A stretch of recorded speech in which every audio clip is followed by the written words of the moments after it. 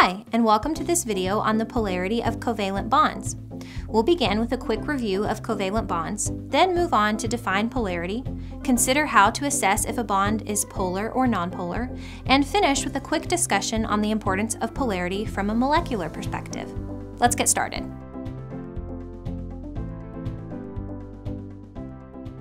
Remember, there are a few different types of chemical bonds. Ionic, metallic, and covalent are the main categories. Covalent bonds are formed when atoms share their valence electrons. For example, when two chlorine atoms come together, each donates one electron to the bond. Each chlorine has access to both bonding electrons. Thus, each chlorine has eight valence electrons, satisfying the octet rule. Generally, atoms that form covalent bonds are the nonmetals in the top right of the periodic table, like carbon, oxygen, nitrogen, sulfur, phosphorus, and the halogens. Hydrogen is also included, even though it's not in the top right. These are the atoms we see in organic chemistry. Even though we're dealing with a small subset of the periodic table, covalent bonds vary drastically in their properties, particularly in their polarity. Let's define that term as it's the focus of this video. The polarity of a covalent bond describes the distribution of the shared electrons in that bond. The more unequal the distribution, the more polar the bond. Perhaps when you learned about covalent bonds, the default picture in your head was of electrons that were equally shared. This is the case in nonpolar bonds where the electrons are indeed more or less shared equally between the two atoms. But that's not always the case. In polar covalent bonds, the electrons are not distributed equally between the two atoms. One atom in the bond attracts the electrons more than the other, which results in the electrons spending more time around that atom. This creates areas of partial positive charge and partial negative charge, or partially charged poles, thus the word polarity. Partial charge is denoted using a lowercase sigma, and polar bonds are often depicted using shading or the polar arrow. In shading, red indicates areas of partial negative charge and blue represents areas of partial positive charge. The head of the polar arrow points to the negative end of the bond, and the plus sign, logically, is at the positive end of the bond. A couple of questions may have immediately formed in your mind as we went over this material. Why do some atoms attract bonding electrons more than others? Can we assess polarity just by the chemical formula? How does polarity impact the chemical and physical properties of a molecule? These are great questions. First, the tendency for some atoms to attract bonding electrons more strongly than others is described by their electronegativity. Atoms tend to be more electronegative when they are smaller and have large nuclear charges, which results in a stronger pull on the bonding electrons by the nucleus of the atoms. This is a very similar property to the electron affinity of an atom, which describes a free atom's pull on an electron. Thus, similar to the trends in electron affinity, as we go from left to right and up the periodic table, elements get more electronegative, with the exception of the noble gases. This means fluorine is the most electronegative element.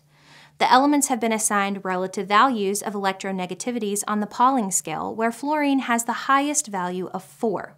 Don't worry, it's unlikely that you'll ever have to memorize these numbers.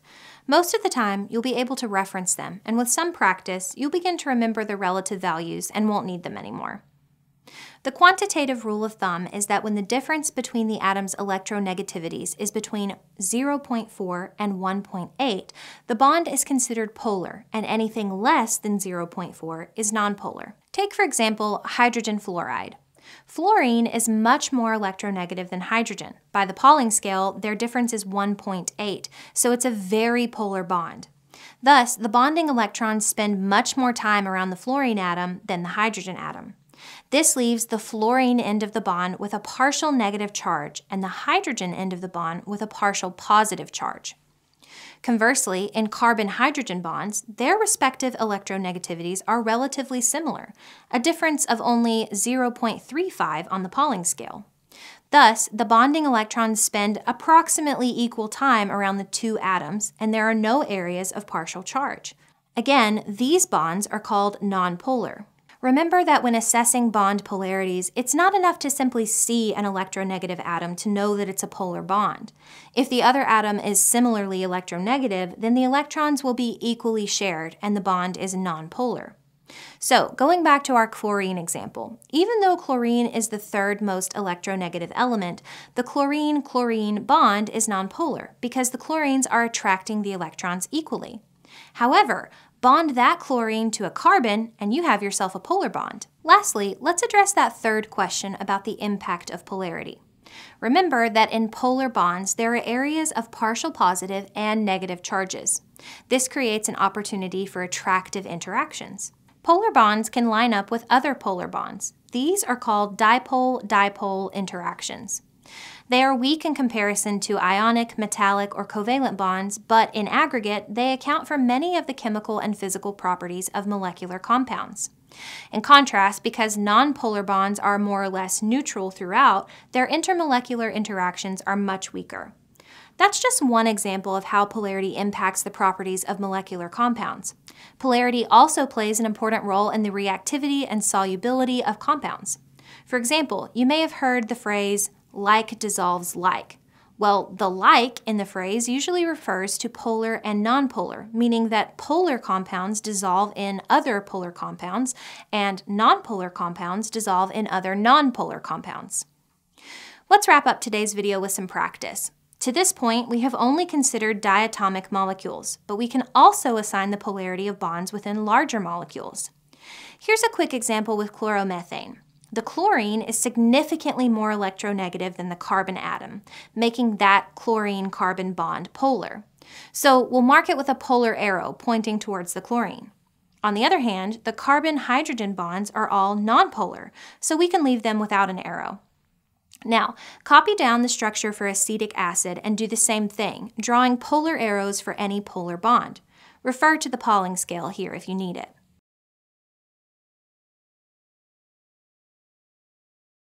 All right, oxygen is more electronegative than both carbon, a difference of 0.89, and hydrogen, a difference of 1.24. So we can draw in polar arrows showing partial negative charges on both oxygens.